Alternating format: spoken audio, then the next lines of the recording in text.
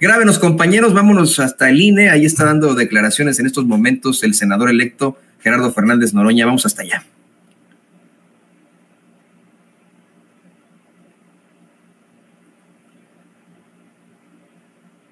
Estamos discutiendo tenga que ver con cargos.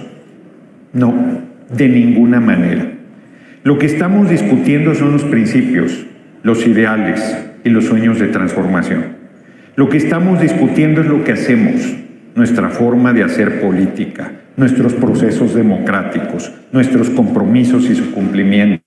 Todas nuestras acciones son en reflejo de lo que proponemos para forjar a la nación.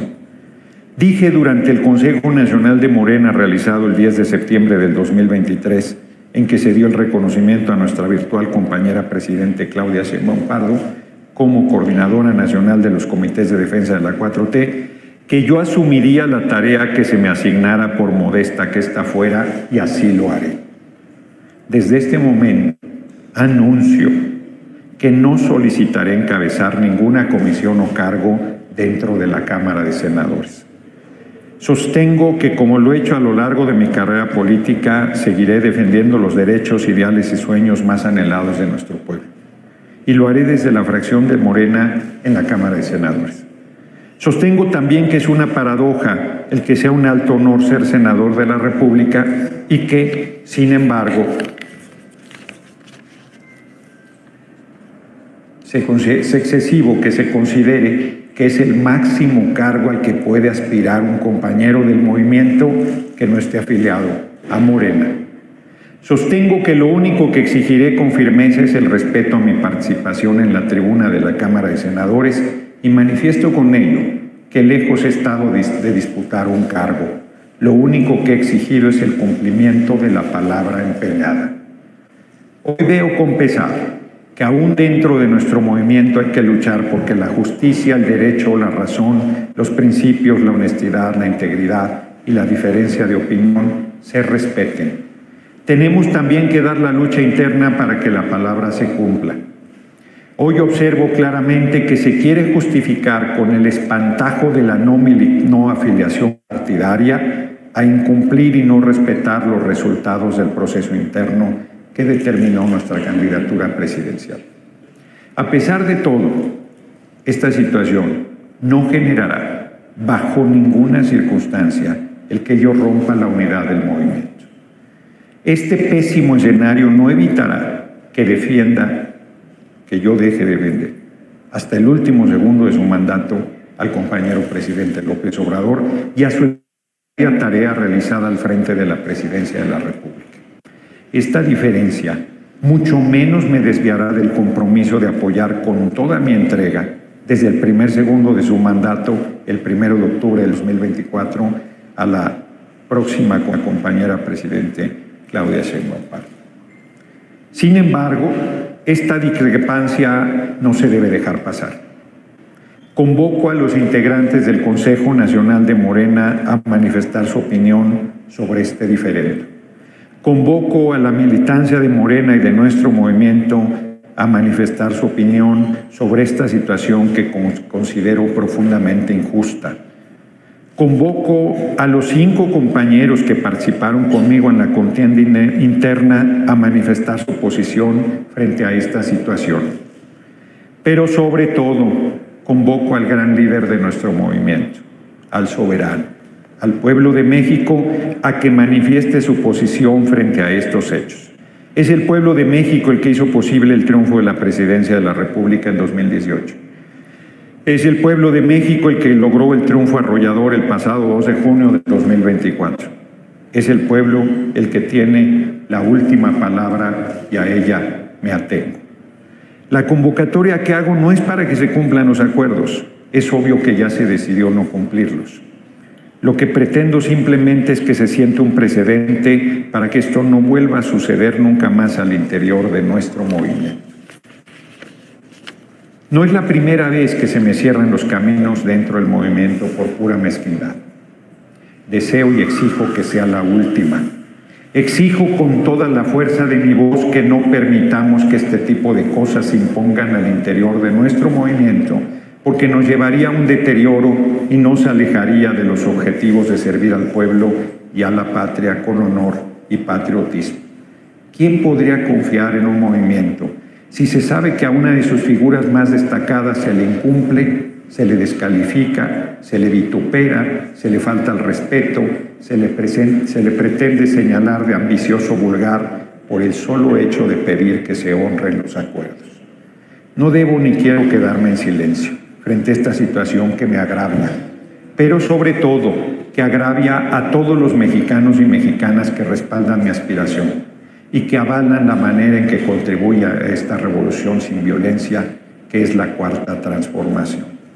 No puedo ni debo quedarme callado porque como bien decía Martin Luther King, todo creyente tiene la obligación moral de combatir la injusticia y yo como no creyente estoy convencido que todo ser humano debe combatir la injusticia y más obligación tenemos de hacerlo cuando la injusticia se impone sobre uno mismo. Pero en este caso la injusticia recae en los millones de mexicanos que han creído en nuestro movimiento y que lo respaldan activamente. No es un agravio personal solamente, es un agravio a los principios democráticos, a la honestidad, a la ética y a la vocación de servicio y a todas las personas que ven en mi voz que los representa. Finalmente, que no se distorsione mi sentir, convoco a la unidad del movimiento.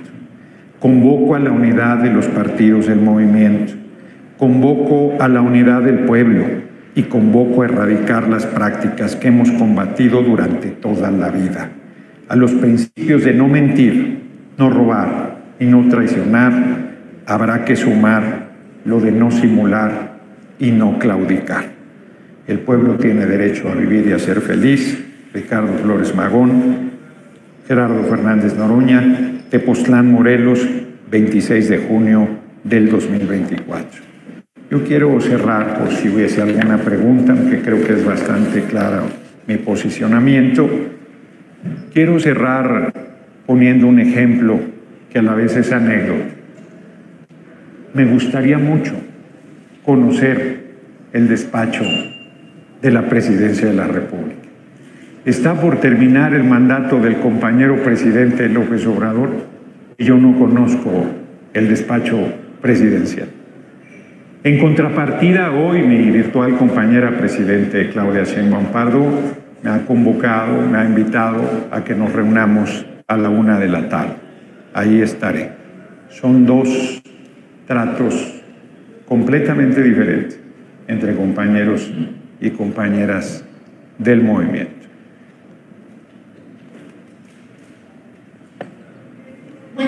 Muchas gracias. Las palabras de Gerardo Fernández Doroña, y mire, sí le vamos a compartir con muchísimo gusto en unos momentos más las preguntas que le hacen nuestros compañeros corresponsales de la fuente, la sede del INE, donde tendrán una sesión en cuestión de media hora, pero estas declaraciones las hace previas Gerardo Fernández Noroña, se transmiten desde su canal oficial, tanto de YouTube como de Facebook. Hay mucho que platicar al respecto. Eh, eh, vamos a, rescatar rápidamente los puntos clave. Eh, anuncia a Gerardo Fernández Noroña que no solicitará encabezar alguna comisión o cargo en precisamente el Senado en medio de este diferendo que existió con Morena luego de los acuerdos presentados en la definición del, coordinación, del coordinador de la defensa de la cuarta transformación. Dice que de todas formas sí tiene que exhibir que se quiere justificar con espantajos para incumplir y no respetar los estatutos del proceso interno dice que esta diferencia de todas formas no lo desvía de apoyar con todo lo que tiene y siempre tanto al presidente López Obrador como a la presidenta electa, la doctora Claudia Sheinbaum, pero que la discrepancia no se puede dejar pasar.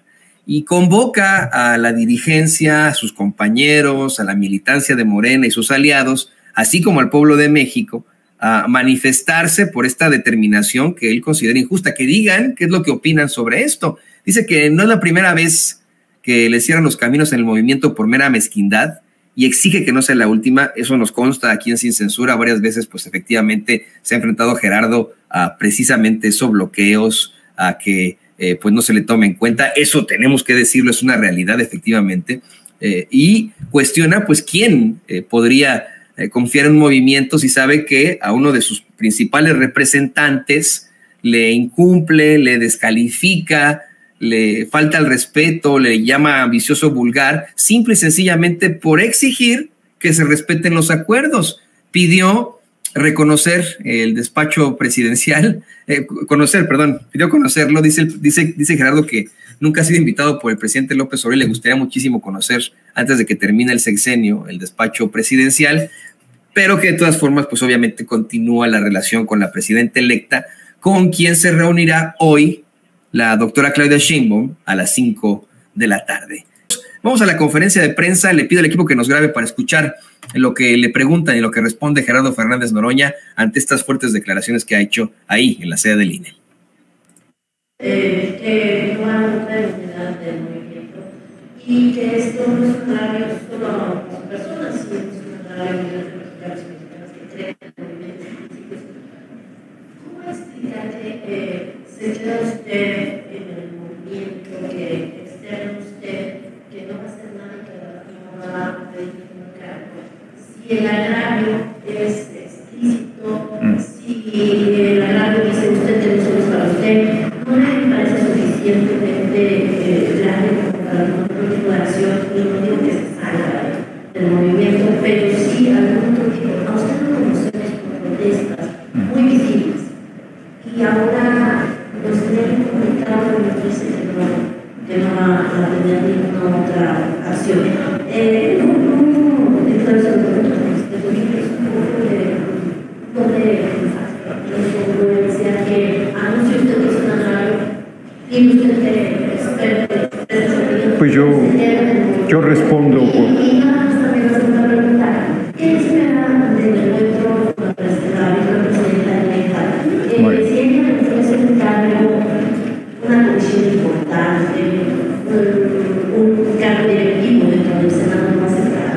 Bueno, primero, yo creo que será prudente que yo reparta copias del documento porque quizás la lectura no permitió ver lo que estoy diciendo. También me parece que lo que estoy diciendo es muy fuerte, muy importante, muy serio. Estoy haciendo un llamado al movimiento a rectificar. Estoy haciendo un llamado al movimiento a no permitir prácticas incorrectas. Estoy haciendo un llamado al movimiento a honrar la palabra por cierto, quiero agradecer al pueblo de México su respaldo, su amor, su cariño, sus manifestaciones que me han desbordado y que las llevo en el corazón y que mucho agradezco. Yo creo que se sigue pensando en los tiempos de la politiquería, que yo estoy buscando un cargo. Yo no estoy buscando un cargo, yo estoy luchando por la transformación del país. Y yo estoy en el movimiento que lucha por la transformación del país. Y no voy a renunciar por ningún motivo a ese movimiento, a ese lugar que tengo. Porque mi lugar destacado, perdón, que puede sonar arrogante, el lugar destacado que tengo en el movimiento no me lo da nadie más que el pueblo de México. El lugar destacado que tengo no me lo da un cargo, no me lo da una responsabilidad pública, me lo da el compromiso que yo tengo con el pueblo de México en el proceso de transformación. Y ese, como lo dije en este Consejo Nacional que estoy planteando que hubo, lo sostuve. Yo dije que si me mandaban a repartir periódicos Regeneración casa por casa, eso haría. Y dije que si me mandaban adelantito del rancho el compañero presidente López Obrador y por ahí ando, también ahí iría. Y dije muy claro, que nada de eso evitaría que yo siguiese luchando por el proceso de transformación del país hasta el último segundo de mi vida. Así es que lo que yo estoy haciendo es actuar con congruencia. Sería absurdo, sería ridículo que yo vaya en contra del movimiento que hemos construido millones de mexicanas y mexicanos. Ninguna aspiración, por importante que sea, puede hacer que yo me mueva un milímetro del compromiso que tengo con el pueblo y con la patria. Sobre la segunda respuesta no especulo, no ando buscando un cargo. Agradezco mucho que la compañera, virtual compañera presidente vaya a platicar conmigo y a la una de la tarde. Creo que ayudará a que encaucemos eh, las cosas, a que salgamos de esta crisis que hay que reconocer, pero que es una crisis que yo no generé. Yo he cumplido la palabra. Me parece que el mensaje que se está dando es un mensaje ominoso premiar conductas incorrectas y hacer a un lado a compañeros consecuentes. Bueno, eso es un mensaje muy fuerte hacia abajo que se le plantea al movimiento y al pueblo de México. Eso se tiene que corregir, no porque tengan que darme, ya tengo el honor de ser senador de la República, es un alto honor. El tema no es ese, no me parece. Eh, yo quiero preguntarle,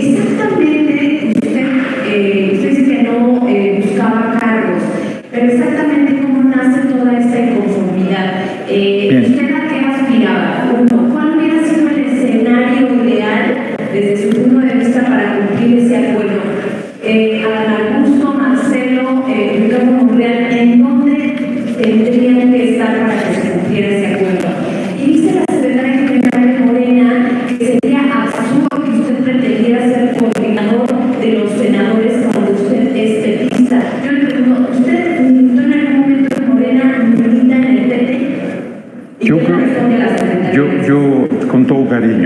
y con todo respeto, invitaría a que leyeran el documento.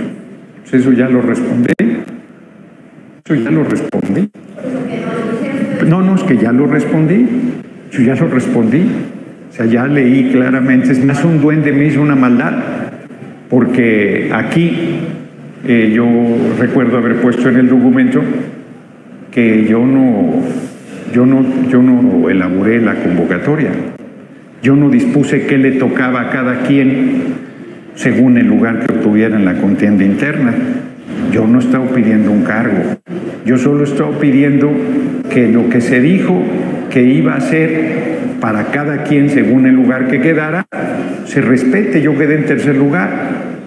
Recuerdo, el primer lugar iba a la candidatura presidencial y a la presidencia de la República, el segundo lugar iba al Senado o al gabinete a liderar, el tercer lugar iba a liderar la Cámara de Diputados y ese es el compromiso.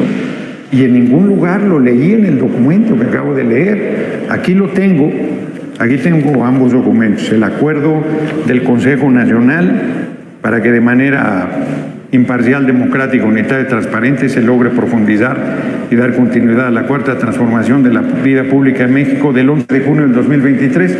Yo los invito a que lo revisen y me digan dónde dice que si alguien no es de Morena no puede tener una responsabilidad. Yo los invito a que lo revisen porque yo lo, lo busco y lo busco y no encuentro lo que dicen.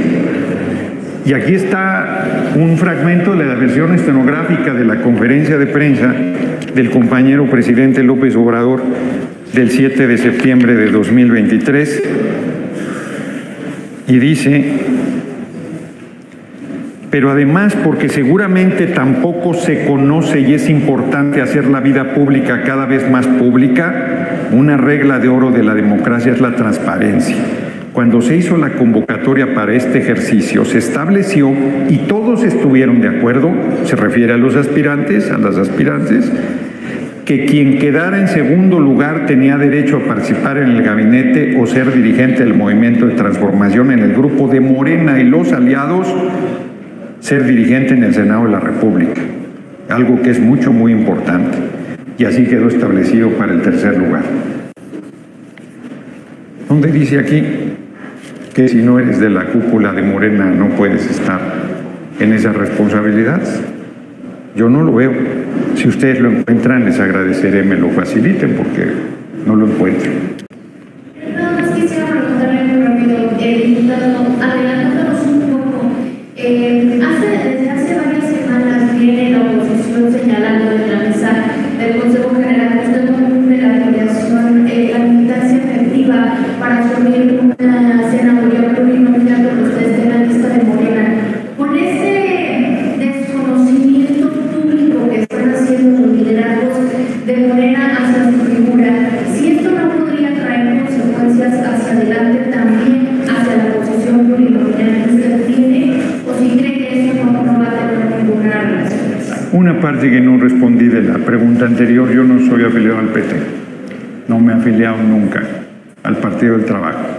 El único partido en el que tuve afiliaciones en el Partido de la Revolución Democrática cuando ese partido valía la pena, cuando era el partido de izquierda más importante electoralmente hablando del país. Yo me burlo de, ello, de mí mismo. Yo le di los mejores años de mi juventud, estuve 19 años En el PRD renuncié, es público, en octubre de, en noviembre de 2008 y luego fui candidato del PT y entonces Convergencia, diputado federal, fui diputado federal de mayoría, estuve en la fracción del Partido del Trabajo, regresé en 2018 por la coalición Morena PT-PES, fui reelecto en 2021 por la coalición Morena PT Verde y nunca he estado afiliado a ningún partido, pertenezco al movimiento.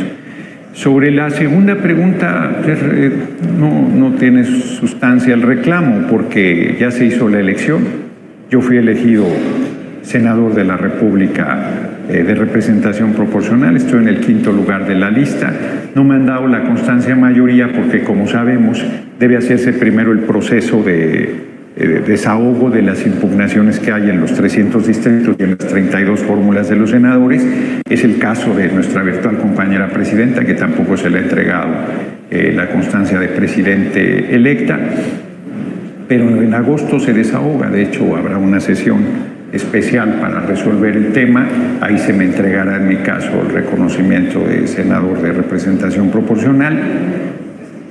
Y la verdad es que pensé inclusive hasta decir, pues puedo no asumir esa responsabilidad, pero no, no creo la manera en que lo expresaste, no hay un, no, no recuerdo qué frase usaste, pero no es eso.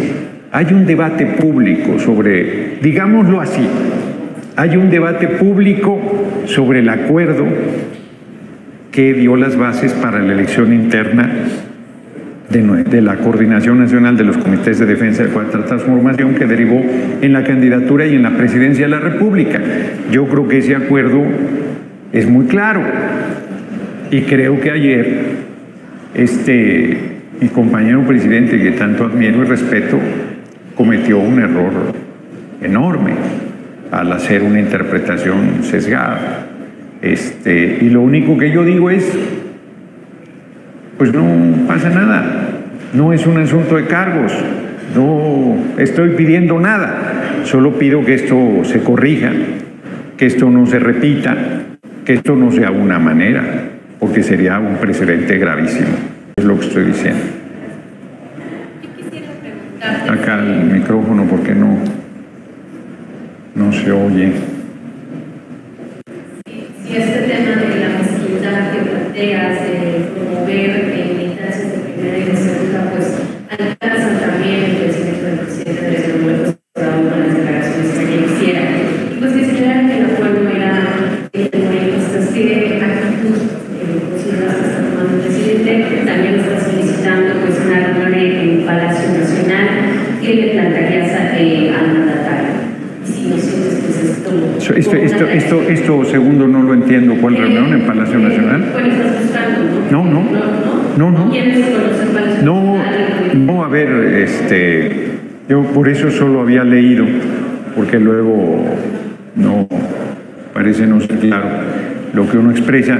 No, yo dije que no conozco el despacho del presidente y que como cualquier mexicano me gustaría conocer y que en el tiempo que ha pasado no lo he conocido y como, y como todo indica, por lo menos al parecer de aquí a septiembre del 2024 no lo conoceré, yo creo que ya lo conoceré con nuestra compañera presidente Claudia Simón Eso fue lo que dije. Y lo que dije es que hoy estoy citado a la una de la tarde. Y te preguntaba sobre este tema de la visita de... Mm. Si no lo alcanzan bueno, bueno, pues ya lo dije. Si me afilio a Morena dirían que me acabo de afiliar. Esa no es la discusión. La discusión no son los cargos. La discusión no es si estás. Esa es una discusión que está rehuyendo el fondo. El fondo es la palabra vale o no vale. Los acuerdos se cumplen o no se cumplen. Los compromisos se asumen o no se asumen. Yo vuelvo a decirles, díganme en estos documentos dónde dice que es para Morena. ¿Para qué nos invitaron entonces? Lo dije muy claro en mi lectura. Si hubiese ganado la coordinación, ¿qué me hubieran dicho? ¿Que no soy de Morena? ¿Que no podía ser candidato a la presidencia? ¿Eso me hubieran dicho? ¿Dónde dice eso? ¿Dónde dice eso? Somos compañeros. Es más, yo lo he dicho insistentemente. Morena y el PT, el PT y Morena somos hermanitos. No somos compañeros. Pero además, ¿quién me va a regatear? Perdón que lo diga. ¿Quién me va a regatear a mí? La parte que soy No me lo ha regateado nuestra compañera presidente Claudia Sheinbaum Pardo. Les recuerdo las expresiones elogiosas que hizo de mi persona. Les recuerdo las expresiones elogiosas que hizo de mi persona el compañero presidente López Obrador. No, ese no es el tema. El tema es hay compañeros de primerísima y la cúpula de Morena. No, no es así. Somos un solo movimiento. Somos compañeras y compañeros y se está dando un argumento banal, un argumento falso, un argumento superfluo que ustedes están haciendo suyo. Yo les vuelvo a pedir, lo voy a decir con dureza, los reto a que revisen los documentos de que estoy hablando y me digan dónde dice que estos acuerdos solo aplican para quien está afiliado a Moreno. Primero, ¿alguien tiene aquí el micrófono? Un segundo. ¿No se refería el presidente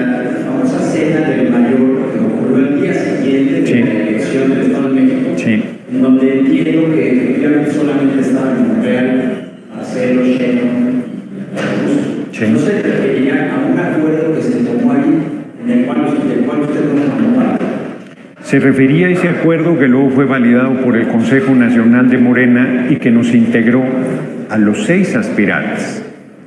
Yo vuelvo, te preguntaría a ti, ¿para qué nos permitieron participar si nosotros éramos de chocolate? ¿Para qué se nos permitió participar si nosotros podíamos ganarles? ¿Para qué se nos permitió participar si yo quedé en tercer lugar? Dime en qué parte del acuerdo de esa noche, te lo vuelvo a preguntar y se los pregunto a todos, ¿en qué parte del acuerdo de esa noche dice que es solo para los aspirantes de Morena. ¿Dónde dice eso?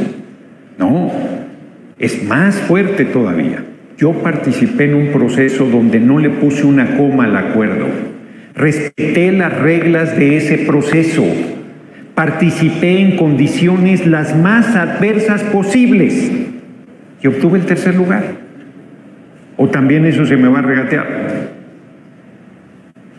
Luego, ¿qué sigue? Me están diciendo ustedes que comparten el planteamiento de que nosotros íbamos de adorno? ¿Me están diciendo ustedes que la propuesta del PT y el verde no valían?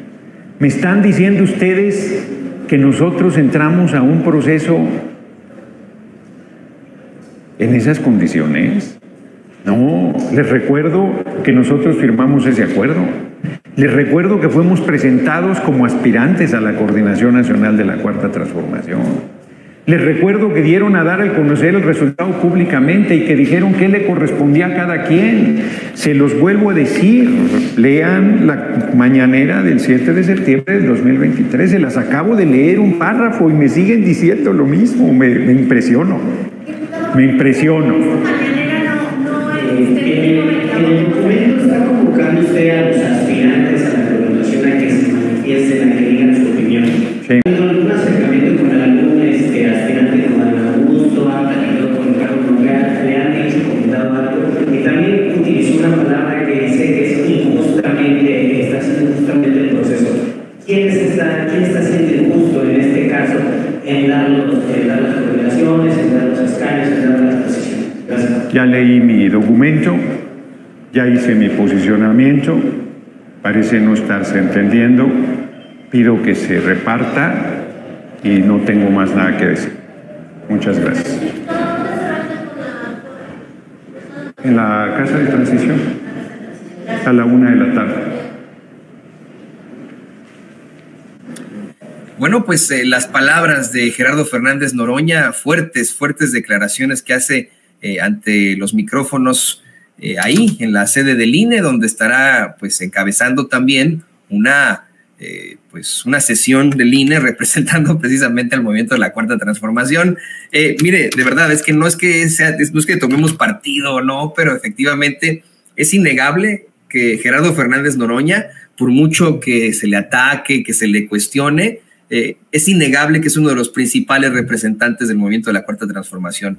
Yo lo he visto con mis propios ojos aquí en Estados Unidos, imagínense. En Los Ángeles, California, cuando fue la presentación de la doctora Claudia Sheinbaum en el Million Dollar Theater, ahí eh, eh, la gente se aglutinaba para saludar, para conocer, para vitorear a Gerardo Fernández Noroña. Y es el mismo caso allá en México, donde pues la gente asiste a sus eventos, eh, donde la gente, bueno, pues le demuestra su cariño, su respeto. y mire, también es innegable la defensa que ha hecho de la cuarta transformación, pero a, a, capa y espada, ¿eh? a capa y espada. Le hemos puesto aquí hasta el doctor Noroña que le receta eh, siempre muy buenas vacunas a la oposición. Eso es innegable. Y entiendo perfectamente que existan allá afuera una serie de eh, pues planteamientos de críticos de Gerardo Fernández Noroña que nos acusan aquí en Sin Censura de ser, eh, de, de, tener algún tipo de partido por él. Pues no, él, cada vez que le marcamos, nos contesta las llamadas. Ahora, ahora quiso dar un mensaje eh, público, sin dar una entrevista exclusiva, pero eh, él se ha mantenido cerca de este espacio, a él hemos abierto el micrófono y él lo ha tomado, eh, así de sencillo. Puede ser un personaje controvertido, pero de que efectivamente se trata de un, de un verdadero representante de la Cuarta Transformación, eso, señoras y señores, es un hecho, es un hecho. Y miren, de las declaraciones más fuertes es que, insisto, anuncia que no va a solicitar encabezarle una comisión o cargo alguna en el Senado, pero que se tiene que cuestionar esta discrepancia a todos los niveles. Eh, asegura que es una crisis que él no generó, que simple y sencillamente está, está él cumpliendo su palabra. Eh, también cuestiona que, pues, en qué parte del documento dice que si no es uno de la cúpula de Morena no puede estar en los acuerdos.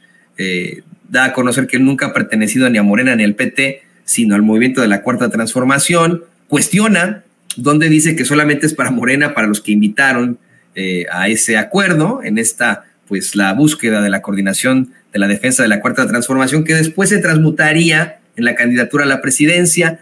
Eh, de hecho, hay un momento muy álgido en el que, alzando la voz, Noroña cuestiona, bueno, pues, ¿para qué nos permitieron participar si éramos de chocolate?